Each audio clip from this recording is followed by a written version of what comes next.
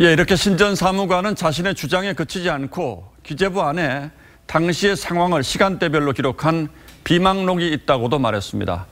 앞으로 정권이 바뀌면 문제가 될 수 있는 일이기 때문에 어, 이 사태를 자세히 기록해 두라는 선배 공무원의 권유를 받았고 자신은 아니지만 다른 사무관이 비망록을 작성했다고 밝혔습니다. 최원국 기자가 이어서 보도합니다. 신재민 전 기획재정부 사무관은 비망록의 존재를 언급했습니다. 비망록 관련해서는 저희 부도 업무를 하는 실무자들이 다 이건 문제가 있다고 생각을 하고 있었고 납득할 수 없는 상황이었거든요. 그리고 그런 내용이 담겨 있었, 있습니다.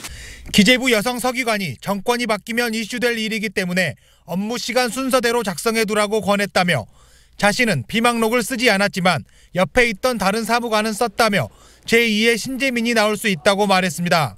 저로 인해서 또 다른 공익신고자가 나왔으면 좋겠습니다. 신전 사무관은 기자회견 중 너털 웃음을 터뜨리는가 하면 폭로 유튜브 방송에서 친구와 통닭을 먹으며 대담을 하는 모습을 보이기도 했습니다. 신전 사무관은 공직의 녹을 받으면서 일했던 부채 의식을 해소하기 위해 영상을 찍는 것일 뿐 자신은 어떤 정치 집단과도 연관되어 있지 않다고 말했습니다. 자신의 친정인 기획재정부 사람들에게는 죄송하다고 말했습니다. 기재부랑 싸우는 게 너무 슬픈 게 나는 기재부 사람들 진짜 좋아하거든. 신전 사무관은 고발 소식을 듣고 두렵기도 했다며 우울증이 찾아와 약을 받아오기도 했다고 말했습니다.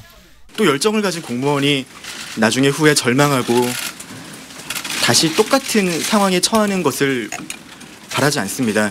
TV조선 최원국입니다.